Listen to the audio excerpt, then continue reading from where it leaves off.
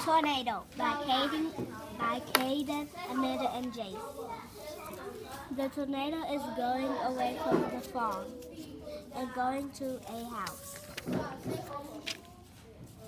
And at,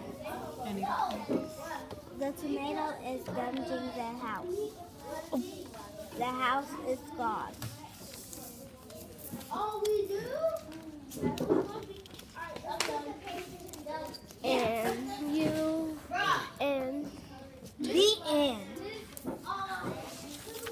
I was